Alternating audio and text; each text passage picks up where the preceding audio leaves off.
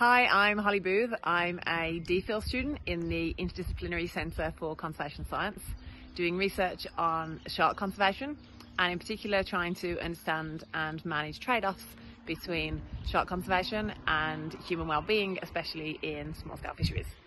Um, this World Oceans Day, I, I should actually be uh, in Indonesia. That's uh, normally where I work and, and do my fieldwork. Um, but thanks to these uh, uh, strange times due to COVID-19, I'm currently back in the UK.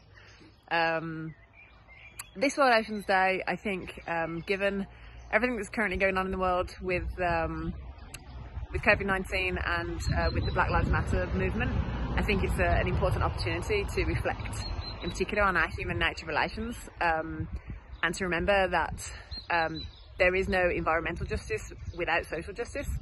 Um, and to remember that um, healthy people depend on um, healthy oceans and uh, a healthy planet.